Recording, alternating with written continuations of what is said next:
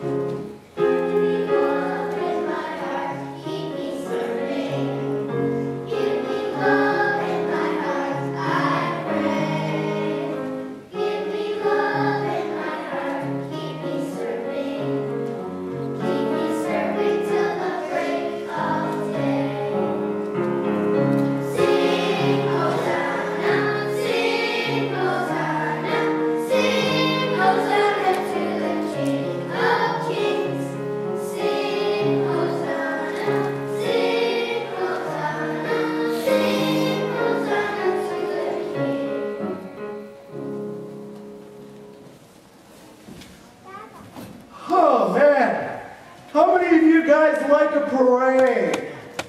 Oh yeah, I love a parade. You guys like a parade too? Yeah, figures do it. I thought it was the party scene for this group, parades for this group. I like a parade too, but as I get a little older, like a lot of those folks are, it takes a lot more out of me, okay? Because there's a lot of excitement at a parade, isn't there? It's always a lot of happy people standing around on the streets it's so much fun. I love it. I love celebrations. How many of you guys like to have a party? We do. Yeah, yeah, I do too. Everybody likes a party. We're Lutherans. when Jesus came to Jerusalem that day, when he came, he came there that day to celebrate. Yes, he did. He came that day to have a party. It was the Jewish festival of the Passover, an important celebration for the Jewish people that usually meant that you got your family and your friends all together around the dining room table for a very special meal. It was a party for the Jewish people to remember that night in Egypt, long back in their history. That night in Egypt when the angel of death passed over the houses of the Israelites. It was a party to celebrate that one time Moses led the Israelites, led those people out of a time of slavery into freedom.